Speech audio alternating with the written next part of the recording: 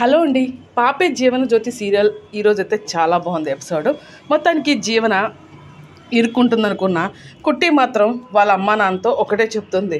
జ్యోతమ్మ అంత బాధలో ఉంటే అంత ఇబ్బంది పడుతుంటే అన్ని కష్టాల్లో ఉంటే మన ఇంట్లో ఏది జరిగిన శుభకార్యం జ్యోతమ్మే చూసుకుంటుంది కదా.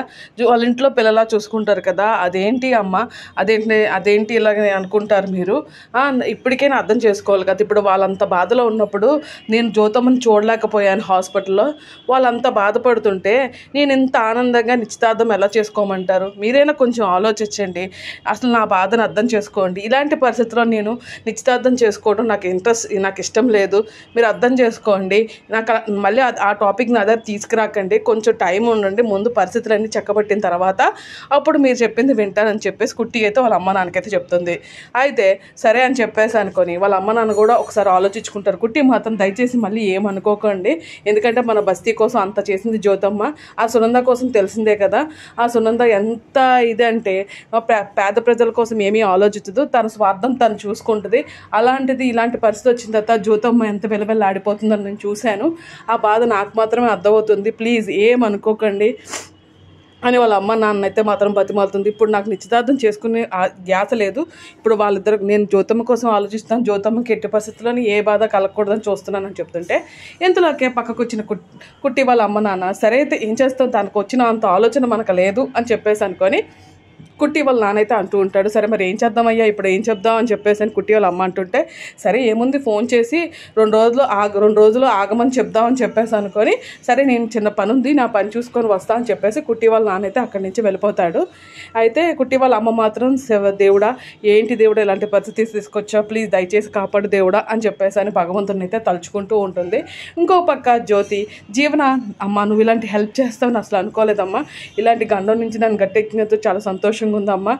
ఇలాంటి అసలు నిజ- అసలు అనుకోలేదమ్మా అని చెప్పేసి అనుకుని ఇలాంటి పరిస్థితి వస్తుంది అనుకోలేదమ్మా అని చెప్పేసి ఏదో జీవన జ్యోతిని ఏదో సంథింగ్ చెప్పడానికి ఎలాగా బాధపడుతూ ఏదో చెప్పడానికి ప్రయత్నిస్తూ ఉంటుంది అమ్మ ఇంతకీ అసలు విషయం ఈ విషయం నాన్నకి తెలుసా అని చెప్పి డాడీకి తెలుసా నాకు జీవన అడుగుతూ ఉంటుంది. జ్యోతి ఇంకా అదేదో చెప్పబోతుంటుంది. కానీ జ్యోతి ఇది కాదమ్మా ఎవరైనా తప్పు చేస్తుంటే తప్పు ఖచ్చితంగా ఈరోజు కాకపోతే రేపైనా అనుభవించాల్సిందే. తప్పు చేసిన వాళ్ళు తప్పించుకోవడం తప్పించుకోలేరు అని చెప్పేసి జ్యోతి అయితే అంటూ ఉంటుంది. జీవన మాత్రం ఇవన్నీ కాదమ్మా సరే ఇప్పుడు ఇప్పుడు జరిగిందేదో జరిగింది ఏదో జరిగింది ఏం కాదులే అని చెప్పేసి తప్పు చేసినట్లు కూడా కొంచెం కూడా చూపించదు జీవన. అయితే ఇంతలోకే నాన్నకు తెలుసు డాడీకి తెలుసా అనేసరికి ఇంతలోకే వాళ్ళ డాడీ జీవన వాళ్ళ నాన్న అయితే వస్తాడు. చూసావు కుట్టి నువ్వు చేసిన తప్పుకి ఇప్పుడు మేము అనుభవిస్తున్నాం. అసలు ఏంటి నువ్వు? ఏం చేస్తున్నావు నువ్వు? నీకు అర్థమవుతుందా? చిన్నపిల్లవా? ఆ, నీకు అసలు కొంచెం కూడా బుద్ధి జ్ఞానం ఏం లేదా నీకు? అసలు అతను ఒకసారి తప్పు చేసావు. ఆ పబ్బు విషయంలో కూడా తప్పు జరిగింది. అలాంటి సిచ్యువేషన్లో కూడా నేనే కాపాడి మొత్తానికి నేను వెళ్ళకుండా చేశాను. ఇప్పుడు పిల్లలు తప్పు చేస్తే కాపాడటానికి తల్లిదండ్రులు ఉంటావు ఎన్నిసార్లు? ఎన్నిసార్లు చెప్పు? ఎన్నిసార్లు చెప్పు? దేనికైనా ఒక లిమిట్ ఉంటుంది. నువ్వు లిమిట్ దాటేస్తున్నావు అసలు. నీకు కొంచెం కూడా కా- కొంచెం కూడా బుద్ధి జ్ఞానం ఏమీ లేదు అని చెప్పేసి అని ఇష్టం వచ్చినట్లయితే తిడతాడు సూర్యబాబు. అసలు మామూలుగా తిట్టడు. జీవన కూడా ఏం మాట్లాడకుండా సైలెంట్గా ఉండిపోతే జ్యోతి కూడా ఏం చెప్పదు. అది కాదు డాడీ అనేటప్పటికల్లా నీకు కాన్ఫిడెన్స్ ఉండొచ్చు కానీ ఓవర్ కాన్ఫిడెన్స్ ఎక్కువ ఎక్కువైపోతుంది జీవన. మామూలు కాదు కాదు నాకు అసలు చెప్పి చెప్పి చిరాకు వస్తుంది అసలు. ఎన్నిసార్లు చెప్తారు? ఒకసారి అని చెప్తే ఇప్పుడు మీ అమ్మ ఆ పరిస్థితిలో ఉంది. ఆ పిల్లడికి ఏదైనా జరిగితే ఏం సమాధానం చెప్పాలి? వాళ్ళకి ఏం సమాధానం చెప్పాలి చెప్పు. నువ్వు చేసిన దానికి నీకు అందుకే చెప్తున్నాను. మీ అమ్మ చెప్పేది వినాలి కదా. అసలు నువ్వు డ్రైవింగ్ ఎవరు చేయమన్నాడు? అసలు ఇలాంటి పరిస్థితి తీసుకొచ్చావు నువ్వు అని చెప్పేసి అని సూర్య అయితే మాత్రం గట్టి గట్టిగా తిడుతూ ఉంటాడు. జ్యోతి మాత్రం ఏం మాట్లాడకుండా సైలెంట్గా ఉండిపోతుంది. అసలు ఏంటిది? ఇలాంటి పరిస్థితి తీసుకొస్తే ఏం సమాధానం చెప్పాలి? వాళ్ళు ఏ రకంగా రియాక్ట్ అవుతారు? ఇలాంటి పోలీస్ స్టేషన్ మీ అమ్మ ఏ రోజు పోలీస్ స్టేషన్కి ఎవరైనా తప్పు చేస్తే వాళ్ళని కాపాడటం కోసమైనా నిర్దోషులను కాపాడటం కోసమే జైలుకి వెళ్ళింది కానీ ఆ, పోలీస్ స్టేషన్కి వెళ్ళింది? అలాంటిది మీ అమ్మ చేత పోలీస్ స్టేషన్కి అయితే పంపించావు నువ్వు? అసలు నేను ఏం చేయాలి చెప్పు అని చెప్పేసి అనుకుని గట్టి గట్టిగా అరుస్తూ ఉంటే మాత్రం ఆ జీవన మాత్రం ఏవో బాధ వచ్చి ఏడు చేసినట్లు ఏడుపు మొహం పెట్టుకొని ఏడుపు మొహం పెట్టుకొని చూస్తూ ఉంటుంది. జ్యోతి మాత్రం ఏం మాట్లాడకుండా సైలెంట్గా ఉంటుంది. కుట్టి మాత్రం అసలు వాళ్ళ నాన్న వాళ్ళ నాన్న ఇచ్చేద్దాం చెప్దామని చెప్పేసి అని చూడదు. వాళ్ళ నాన్న తిట్టే తిట్లకి మొత్తానికి ఏడు మొహం పెట్టుకొని ఏడుస్తూ ఉంటుంది. అని నీకు ఇంక చెప్పినా అర్థం కాదు. ఎంతకని చెప్పాలి ఎంతకని మేము ప్రయత్నించాలి? చిన్నపిల్లలు కాదు కదా దేనికైనా ఒక ఓర్పు ఉంటుంది కదా. అసలు మీకు ఓర్పు లేదు అసలు నీకు కొంచెం కూడా నీకు లేదు అని చెప్పేసి అని సూర్య మాత్రం చాలా కోపంగా తిడుతూ ఉంటాడు. అసలు ఆపకుండా తిడుతూనే ఉంటాడు. కానీ అసలు నువ్వు చేసిన తప్పు ఏంటి? అసలు ఏంటి ఇది? నాకు అర్థం కాదు. ఇప్పుడు ఎలాంటి పరిస్థితి తీసుకొచ్చావు నువ్వు? అసలు మీ అమ్మని కొంచెం కూడా ప్రశాంతత ఉన్నట్లేదు ఇప్పుడు అలాంటి తప్పు చేసినందుకు ఇప్పుడు ఏం చెప్పాలి అని అని చెప్పేసి కుట్టి మాత్రం ఇది జీవన మాత్రం ఏడుస్తూ ఉంటుంది. ఏడుస్తూ వచ్చి అసలు నాకు నాకు చిరాకు వస్తుంది. ఎన్నిసార్లు చెప్పాలి నీకు అని చెప్పేసి అంటుంటే జీవనామో ఏడ్చుకుంటూ ఏడ్చుకుంటూ ఏడ్చుకుంటూ ఏడుస్తూ ఉంటుంది. ఏడుస్తూ అసలు ఏం మాట్లాడుకుంటూ ఏడుస్తూ ఉంటుంది. జ్యోతి మాత్రం ఏం మాట్లాడకుండా చూస్తూ ఉంటుంది. ఏం బాధలోనే ఉంటుంది. ఇంతలోకి కుట్టి జీవన మాత్రం అది కాదు డాడీ నన్ను సారీ డాడీ మళ్ళీ ఇలాంటి తప్పు నేను చెయ్యను డాడీ అని చెప్పేసి అని జీవన చెప్తూ ఉన్నా. చి ఇంకా అసలు నాకు చెప్పక నువ్వు. నాకు చాలా చిరాకు వస్తుంది. అసలు ఎలాంటి పరిస్థితి తీసుకొచ్చావు నువ్వు అసలు నిజంగా? అసలు అసలు అసలు చేసి తప్పు చేసి కూడా చేయలేనట్లు ఉంటున్నావు చూసావా? అదే చిరాకు వస్తుందని చెప్పేసి అంటుంటే జీవన మాత్రం ఐమ్ సారీ డాడీ అని చెప్పేసి అని సూర్య కాళ్ళు అయితే పట్టుకోపోతుంటుంది. నువ్వు ఇంకో నాకేం మాట్లాడుకు నాకు చిరాకు వస్తుంది అసలు ఎన్నిసార్లు చెప్పాలి అని చెప్పేసి అనుకొని ఇంకా ఇంకా ఇంకా ఇంకా సూర్య అయితే ఇంకా కోపడుతుంటాడు జీవనాన్ని. అది కాదు మమ్మీ నేను చెప్పేది విను మమ్మీ నువ్వేనా చెప్పు మమ్మీ అని చెప్పేసి అని జ్యోతి దగ్గరికి వెళ్ళి అడిగితే ఏమో అది కాదు జీవన నువ్వు ఇక్కడి నుంచి వెళ్ళి ముందు అని చెప్పేసి అని అంటాడు. అది కాదు మమ్మీ అంటే వెళ్ళమని చెప్పాను నీకు ముందు ఇక్కడి నుంచి వెళ్ళి నువ్వు అని చెప్పేసి అని జీవనాన్ని అయితే మాత్రం జ్యోతి అక్కడి నుంచి వెళ్ళిపో వెళ్ళిపో అని చెప్పేసి అని కోపడుతుంటుంది ఇంకా జీవన కూడా ఏం మాట్లాడలేక అక్కడి నుంచి అయితే వెళ్ళిపోతుంది. ఇంకా జ్యోతి మాత్రం బాధపడుతూ ఇలాంటి నాకు తెలుసండి. నేను అన్నీ తెలిసే నిర్ణయించుకున్నాను. నేను అన్నీ తెలిసి ఇలాంటి నిర్ణయం తీసుకున్నాను అని చెప్పేసి అని బాధపడుతుంటే సూర్య మాత్రం నీకేం కాదు జ్యోతి. నేను అన్నాను నేను చూసుకుంటాను. ఎలాంటి పరిస్థితి వచ్చినా నేను కాపాడుకుంటాను. ఏం కంగారు పడకు. అన్నీ మంచిగా జరుగుతుంది. నువ్వు ఇలా బాధపడుతుంటే నేను చూడలేకపోతున్నాను జ్యోతి అని చెప్పేసి అని సూర్య ఏమో జ్యోతి జ్యోతికి కొంచెం ఓదార్పు అయితే ఇస్తూ ఉంటాడు. జ్యోతి మాత్రం బాధపడుతూనే ఆలోచనలో ఉండిపోతుంటుంది. ఏం చేయాలి భగ ఆ పిల్లోడు ఎలాగైనా సరే కా ఎలా భగవంతుడు ఆ పిల్లోడిని ఎలాగైనా కాపాడాలి. సృహలోకి రావాలి. ఏ ఇబ్బంది లేకుండా చూడు భగవంతుడా అని చెప్పేసి అనుకొని జ్యోతి అయితే తన మనసులో బాధపడుతూనే ఉంటుంది. సూర్య ఏమో తన బాధను చూడలేక సరే నేను ఏదో ఒక ప్రయత్నం అయితే చేస్తాను. జ్యోతి నువ్వైతే బాధపడకు జ్యోతి. ఎందుకంటే నీ బాధ నేను చూడలేకపోతున్నాను. ఇలాంటి పరిస్థితి వస్తుందని కల్లో కూడా అనుకోలేదు. సరే అయితే ఇప్పుడే వస్తానుండు అని చెప్పేసి అని సూర్య అక్కడి నుంచి అయితే వెళ్ళిపోతాడు. జ్యోతి ఆలోచిస్తుంటుంది. ఇంకో పక్కన అయితే మాత్రం మనకు ఆదిత్య కళ్ళు తెరిచి అయితే చూస్తాడు. ఇంతలోకి నర్స్ ఆదిత్య కళ్ళు తెరపడం చూసి సరే డాక్టర్కి వెళ్ళి చెప్దాం అని గబగబా నర్సు డాక్టర్ దగ్గరికి వెళ్ళి వాళ్ళ అమ్మ నాన్నకు కూడా చెప్ సునంద సునంద వాళ్ళ ఆయనకి కూడా చెప్పేస్తుంది ఇలాగ మీ అబ్బాయి కళ్ళు తెరిచాడండి అని చెప్పేసి చెప్తుంటే అవునా అని చెప్పేసని సునందా సునంద సునంద వాళ్ళ ఆయన గబగబా పరిగెత్తుకుంటూ ఆదిత్య ఆదిత్య అని చెప్పేసి అనుకొని ఆదిత్య దగ్గరికి అయితే వెళ్తాడు. ఆదిత్య అయితే మాత్రం కళ్ళు తెరిచి చూస్తూ ఉంటాడు. బనాన్న నీకేం కాలేదు కదా నాన్న. అంత హ్యాపీయే అంత హ్యాపీయే కదా నాన్న. ఏ ఇబ్బంది లేదు కదా నాన్న. నువ్వు చూసావు నువ్వు చూసావు నాన్న అని చెప్పేసాను సునంద చాలా ఆనందంగా చాలా ఇదిగా చూస్తుంటే ఇంతలోకి డాక్టర్ వచ్చి మేడం మీరు కొంచెం జరగండి ఒకసారి చూడనివ్వండి అని చెప్పేసి అని మొత్తానికి డాక్టర్ అయితే ఆదిత్యాన్ని అయితే మొత్తం చెక్ చేస్తూ ఉంటాడు. అంత రేట్ చూసిన తర్వాత ఆదిత్య ఏమో నోటుకున్న ఆక్సిజన్ మేటర్ తీసి చూస్తూ ఉంటాడు. సరే అయితే అని చెప్పేసి అని డాక్టర్ అయితే పక్కకి వెళ్తాడు. ఇంతలోకే మీరు మాట్లాడి ఎక్కువసేపు మాట్లాడించకండి. ఒక ఎందుకంటే మళ్ళీ పేషెంట్ జస్ట్ కళ్ళు తెరిచాడు మాత్రమే. మీరు ఎక్కువసేపు మాట్లాడిస్తే ఎక్కువ స్ట్రెస్ అయిపోతాడు. అని చెప్పేసి అని డాక్టర్ చెప్పేసి అక్కడి నుంచి వెళ్ళిపోతే ఆదిత్య ఏమో కళ్ళు తెరిచి అమ్మ అలేఖ్య ఏదమ్మా అని చెప్పేసి తన గర్ల్ ఫ్రెండ్ కోసం అయితే అడుగుతాడు. అలేఖ్య అదేం లేదు నాన్న తను ఇప్పుడే వెళ్ళింది తను రా తనకి ఇక్కడ ఎందుకు ఇబ్బంది పడతావు? వెళ్ళు అని చెప్పేసి నేనే చెప్పాను కావాలంటే పిలిపిస్తాం నాన్న అని చెప్పేసి అని సునంద వాళ్ళ కొడుకు అయితే చెప్తూ ఉంటుంది. అది కాదమ్మా అలేఖ్యని ఎలా పంపించారు? నాకు అలేఖ్యని ఉంది అలేఖ్యని పిల్లని అంటే ఇంతలోకి నర్సు వచ్చి డాక్టర్ గారు పిలుస్తున్నారండి అని చెప్పేసి అని వాళ్ళిద్దరిని అయితే తీసుకెళ్తారు ఇంతలోకి అయితే ఇంతలోకి ఆదిత్య వాళ్ళ మమ్మీ డాడీ వెళ్ళి ఏమైంది డాక్టర్ అంటే అది కాదండి వెనుపూస గట్టిగా దెబ్బ తగలటం వల్ల బాడీ కొంచెం పె- కొంచెం కదలకపోవచ్చు. మీరు కంగారు పడకండి కానీ రెస్ట్ చాలా ఎక్కువ చాలా ఎక్కువ తీసుకోవాలి. మీరు కంగారు పడిపోయి ఆ పిల్ల పేషెంట్తో ఎక్కువ మాట్లాడొద్దు. ఎందుకంటే బాడీ ఎంత రెస్ట్ తీసుకుంటే అంత మంచిది అని చెప్పేసి అని డాక్టర్ అయితే మాత్రం సునంద సునందాలు ఆయనకైతే మాత్రం చెప్తూ ఉంటాడు. "చీ, ఇలాంటి పరిస్థితి వస్తుందని అనుకోలేదండి. మొత్తానికి కళ్ళు తెరిచాడు దేవుడు దేవుడు ఉన్నాడండి అని చెప్పేసి అని మొత్తానికి పోలీసు అదే ఎస్ఐకి అయితే ఇన్ఫామ్ చేయాలి అని చెప్పేసి అంటుంది సునంద. ఇంతలోకి ఇంకో పక్క సూర్య సూర్యబాబు వాళ్ళ వాళ్ళ నాన్న అందరు కూర్చొని మాట్లాడుకుంటుంటే ఇంకో పక్క నుంచి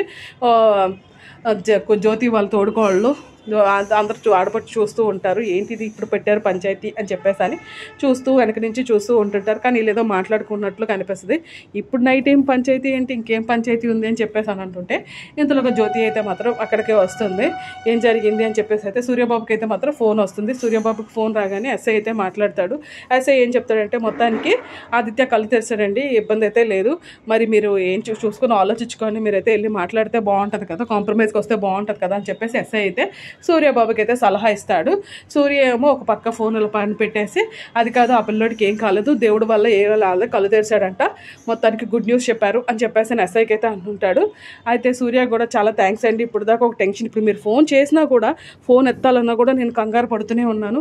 ఏం జరిగింది ఏం జరిగింది అని టెన్షన్ పడుతూనే ఉన్నాను అని చెప్పేసి అనుకొని సూర్య అంటూ ఉంటాడు. జ్యోతి ఏమో పక్క నుంచి టెన్షన్గా జీవన జ్యోతి టెన్షన్గా అయితే చూస్తూ ఉంటారు. అయితే మొత్తానికి ఆ పిల్లోడికి ఏం కాలేదు కళ్ళు తెరిచాడు అని చెప్పేసి చెప్పేసరికి జీవన కూడా కంగారు పడకుండా రిలాక్స్ అవుతుంది.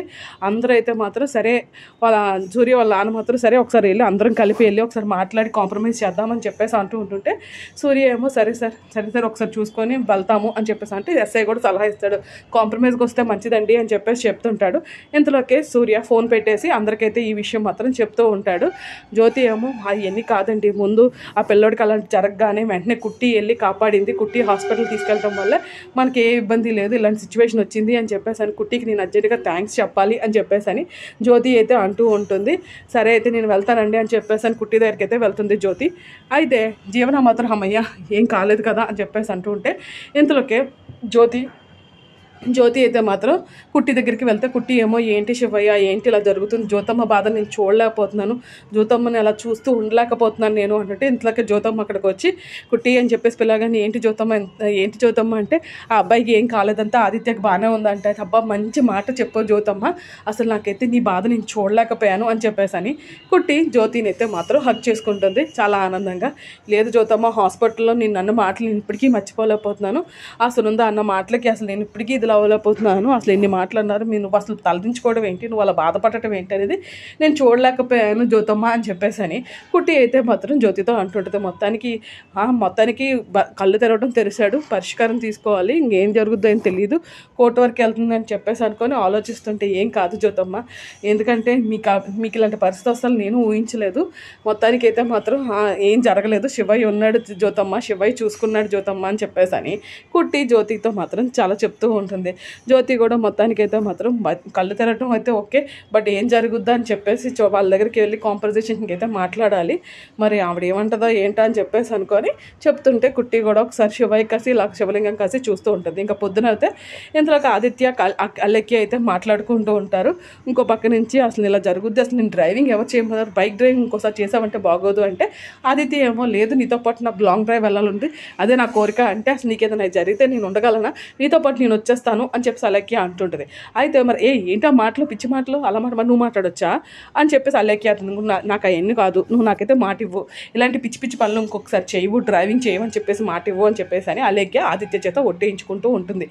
ఇంకో పక్క నుంచి అలేఖ్య పేరెంట్స్ వచ్చి ఏంటండి ఇలా జరిగింది? వారంలో పెళ్ళి పెట్టుకుంటే ఇలా జరిగింది సునంద గారు? అని చెప్పేసి అంటుంటే ఏం మాట్లాడకుండా సునంద అది కాదండి. ఎవరి దిష్ట తగిలి ఉంటుంది ఎక్కడ పనులు అక్కడ ఆపేయండి. ప్రస్తుతానికి అయితే బాగలేదు కదా. అన్నీ సెట్ అయ్యాక మొదలు పెట్టుకుందాం అని చెప్పేసి అనుకో అనుకొని నుందా చెప్తూ ఉంటే వాళ్ళు ఏం మాట్లాడకుండా ఉంటారు. ఇంకో అదంతా అక్కడ అయిపోయిన తర్వాత ఇందులోకే కుట్టి జీవన వాళ్ళ పెద్దమ్మను అయితే ఇంతలోకి అసలు తో- జ్యోతి దొరికిపోయింది అనుకున్నాను జ్యోతోదం దొరికిపోయింది అనుకున్నాను. అసలు ఇలాంటి సిచ్యువేషన్ వచ్చినందుకు యూటిలైజ్ చేసుకుందామంటే వాడు బతికిపోయాడు. అసలు అంటే అసలు జ్యోతి ఎందుకు దొరుకుతురా జ్యోతి తప్పు కాదురా అని చెప్పేసి అని జీవన వాళ్ళ పెద్దమ్మ చెప్తుంటే మరి ఎవరు తప్పు అంటే జీవన అది జీవన కారు నడిపిందంటే అనేసి అటువైపుగా కిట్టు వెళ్తుంటే కిట్టి కుట్టి వినేస్తుంది మొత్తం అంతా. అవును నేను అనుకుంది నిజమే. నాకు అనుమానం కరెక్టే. జీవనాయే తప్పు చేసింది అనుకుంటూనే ఉన్నాను. ఇలా చేసింది అంటే అది జీవననా? అలా ఎలా చెప్తున్నావు నువ్వు అని చెప్పేసి అని అయితే అడుగుతూ ఉంటాడు. అయితే లేదు నేను గట్టిగా అడిగేసరికి ఒప్పుకుంది అంటే మరి రేపు ఇది ఇంకా కోర్టు పోలీస్ స్టేషన్ వరకు వెళ్ళింది. ఇది ఇంకా కాదు రేపు కోర్టుకి వెళ్తాం అదే. రేపు పోలీస్ స్టేషన్కి వెళ్తే ఇద్దరిని ఎంక్వైరీ చేస్తారు. ఏం జరిగింది ఏంటని అడుగుతుంటే అప్పుడు ఖచ్చితంగా జీవన దొరికిపోతుంది కదా అంటే ఏమో రా అన్ని తలకి నొప్పులు తీసుకొచ్చి నెత్తి మీద పెడుతుంది అని చెప్పేసి జీవన వాళ్ళ పెద్దమ్మ అలానే ఏదో మాట్లాడుకుంటూ ఉంటారు. ఇంకా ఇంకా మొత్తానికి సీన్ అక్కడంతా వీళ్ళు డిస్కషన్ అవుతుంటే మొత్తానికి కుట్టికి అయితే నిజం తెలిసిపోతుంది. ఇంత చేసింది అసలు అంత మోసం చేసింది నేను అనుకుంటూనే ఉన్నాను. జీవనం మీద నాకు అనుమానం ఉంది. ఎంత పని చేసింది అని చెప్పేసి అనుకుంటే ఒక పక్క నుంచి కుట్టి అనుకొని అక్కడి నుంచి అయితే వెళ్ళిపోతుంది. మొత్తానికి వీళ్ళిద్దరూ మాట్లాడుకుంటూ ఇంకా జీవన సంగతి ఏమో కానీ జ్యోతి అసలు ఎంత మంచి అవకాశం పోయింది. పోయింది అని చెప్పేసి అని ఇలా జరుగుతుంది నాకు ముందే తెలుసురా. దాని మీద అనుమానం అన్ని ఇలా తెంగర పనులే చేస్తూ ఉంటుంది అని చెప్పేసి అని మాట్లాడుకుంటూ ఉంటారు. కానీ కుట్టి మొత్తం వినేసిన తర్వాత కుట్టికి షాక్ అయిపోతుంది. అసలు ఇలాంటి పరిస్థితి తీసుకొచ్చింది జ్యోతమ్కి దాన్ని అసలు నిజంగా వదలకూడదు అని చెప్పేసి తిట్టుకుంటూ ఉంటుంది. కుట్టి ఇక కుట్టి కోపం కాపుకోలేక ఆపుకోలేక కుట్టి అక్కడి నుంచి వెళ్ళిపోతుంది ఇంకా. వెళ్ళిపోగానే వీళ్ళిద్దరు మాత్రం మాట్లాడుకుంటూ ఉంటారు చెప్పుకుంటూ ఉంటారు. ఇలా జరిగింది అలా జరిగింది. మరి ఏమో ఏం జరుగుద్దో ఏంటో పోలీసు వాళ్ళు ఏం చేస్తారో తెలియదు ఇప్పుడు జస్ట్ కళ్ళు తెరుచుకోవడం అంతే కానీ కేసు అనేది అంత ఈజీగా వదిలిపెట్టరు. కేసు పెట్టారు కాబట్టి కేసు నడుస్తూనే ఉంటుంది అని చెప్పేసి చెప్తూ ఉంటాడు. ఇంకో పక్క నుంచి ఇంక ఇంక మాట్లాడుకుంటూ ఉంటుంటే ఏం జరుగుతుందంటే అసలు అంతలాగా అసలు జీవన అసలు అలా చేస్తుందని అసలు నాకు తెలిసిన ముందు నుంచి దాని మీద అనుమానం అనుమానం ఉంది కానీ అనుకోలేదు. కానీ గట్టిగా అడిగేసరికి ఒప్పుకుంది. ఇంకా కమింగ్ ప్రోమోలో అయితే రేపు జరిగే ప్రోమోలో అయితే సునంద దగ్గరికి జ్యోతమ్మ జ్యోతమ్మ సూర్యబాబు అయితే ఇద్దరు వెళ్తారు. వెళ్ళిన తర్వాత కాంప్రమైజేషన్కి అడిగితే ఏమైనా చేస్తారా? ఎస్ఐ పక్క నుంచి అంటాడు కాంప్రమైజేషన్ కంటే. అంటే ఏమైనా చేస్తారా? ఏది అడిగినా ఇస్తారా? అంటే జ్యోతి అంటుంది. ఏమైనా అడగండి ఏమైనా ఇస్తామంటే చెప్పండి ఏం కావాలో చెప్పండి అని చెప్పేసని అని జ్యోతి అయితే అడుగుతుంటే సునంద ఇచ్చే ఇస్తారు కదా మరి ఇచ్చిన తర్వాత మళ్ళీ వెనక్కి తీసుకోకూడదు అని చెప్పేస్తాను నా కొడుకు జీవితం నాశనం చేసినందుకు నా కొడుకు పెళ్ళి క్యాన్సిల్ అవడానికి కారణమైనందుకు నీ కూతురి బా నీ కూతురి జీవితం పనంగా ఇవ్వాలి నాకు అని చెప్పేసి అని సునంద అడిగేసరికి జ్యోత ఏమి మాట్లాడకుండా షాకే చూస్తూ ఉండిపోతుంది. మరి జ్యోతి ఏ నిర్ణయం తీసుకుంటుందా ఏంటి అనేది తెలియాలంటే కంప్లీట్లీ రేపటి వీడియో కోసం మనం వెయిట్ చేయాల్సిందే. కానీ సునంద పెళ్ళి కొడుకు పెళ్ళి మరి సునంద కొడుకు ఆల్రెడీ ఒక అమ్మాయిని ప్రేమిస్తున్నాడు. మరి ఆ పెళ్ళి క్యాన్సిల్ అయింది. మరి ఆదిత్య ఒప్పుకుంటాడా లేదా? లేకపోతే జీవన ఒప్పుకుంటుందా లేదా? వీళ్ళు తీసుకున్న నిర్ణయానికి వాళ్ళు ఏ రకంగా నిర్ణయం తీసుకుంటారంటే కంప్లీట్లీ వీడియో మాత్రం రేపటి వీడియో కోసం మనం వెయిట్ చేయాల్సిందే. మీలో ఎంతమంది పాపాయి జీవనం సీరియల్ ఫాలో అవుతారో కింద కామెంట్ సెక్షన్లో కామెంట్ చేయండి. ఈ స్టోరీ మీకు రోజు కావాలన్నా కామెంట్ చేయండి. Like share comment and subscribe for more videos.